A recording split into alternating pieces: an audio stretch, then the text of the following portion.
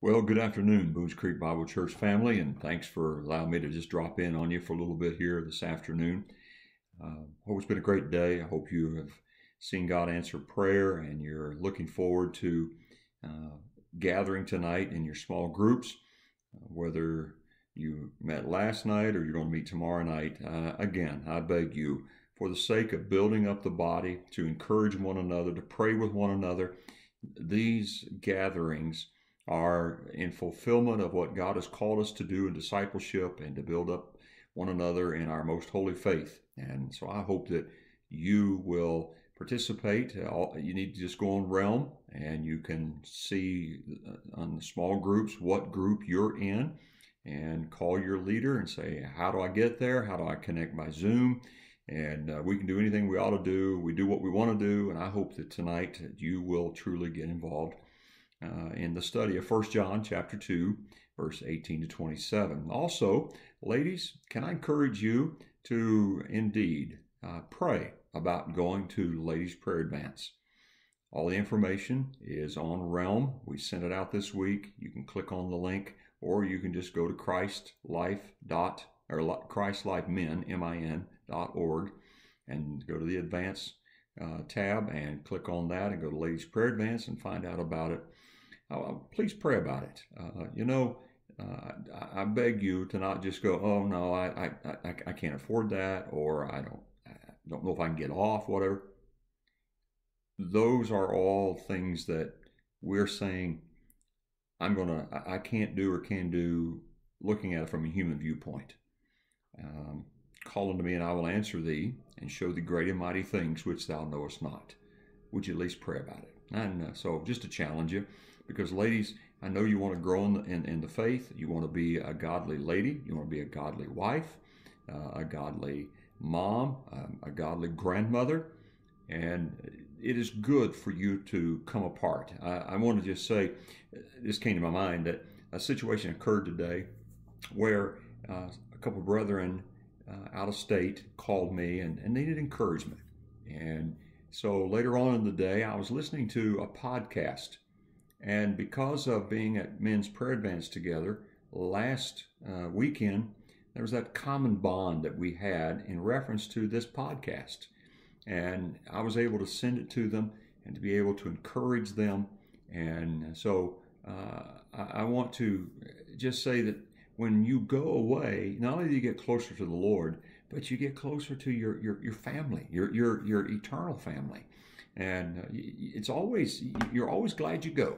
So uh, don't bail out on the front end of it. Let's pray about it and trust the Lord. So, just quickly, I want to just share with you uh, how important it is to be in the Word every day. Uh, it is amazing that this passage that God uh, had for me to read today as a part of my Bible reading, I've used it personally. I've been able to pray this passage with other folks. It was it's something that God has just given to me today to be able to minister my own heart, but minister to others. And that's one of the things that, uh, if you're going to disciple others, you got to have something to say. And every day in the Word, God gives you something. And it may not necessarily be for you, but it may be God wanting to prepare you to minister to someone else. And it's uh, Philippians chapter 1. Let me share it with you just uh, for a moment here. He says, I thank my God upon every remembrance of you always in every prayer of mine, making request for you all with joy for your fellowship in the gospel from the first day until now, being confident of this very thing that he which hath begun a good work in you will complete it until the day of Jesus Christ.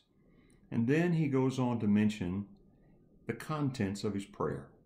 And this I pray, that your love may abound still more and more in knowledge and in all discernment, that you may approve the things that are excellent, that you may be sincere and without offense till the day of Christ, being filled with the fruits of righteousness, which are by Jesus Christ to the glory and praise of God. One of the things I draw out of this is what a way to pray. I don't hear Paul saying, Lord, bless the church at Philippi. I don't hear him say, Lord, be with the church at Philippi. I don't hear him say, help them to have a good day. he's very specific and, he, and he's very pointed in a biblical fashion. He says, I pray that your love may abound still more and more in knowledge and all discernment. Oh, what what uh, what a thing to pray for your spouse. Uh, a husband praying for his wife and said, Lord, help my wife that your love would abound in her heart. The more she comes to know you, the more she comes to know your love for her, and the more that she comes to know how to love others through Christ in her. And that that love also brings about a discerning spirit that she can be able to, as he goes on to say, approve things that are excellent. And then he says that you may be sincere without offense. I would love for you to pray this for me.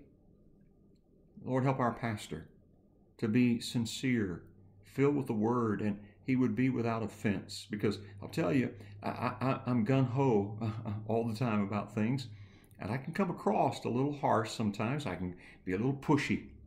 And you need to be praying that I will not be offensive. I'll give the truth, but that I will not be offensive till the day of Christ and be filled with the fruits of righteousness that are by Jesus Christ to the glory and praise of God. So let me just encourage you pray scripture. And uh, let's keep pressing on in these last days. I love you. I appreciate you. And you know, every day the Word of God is good, fresh manna for our hearts, our souls, and to be used of the Lord to disciple others. So have a good evening. Love you.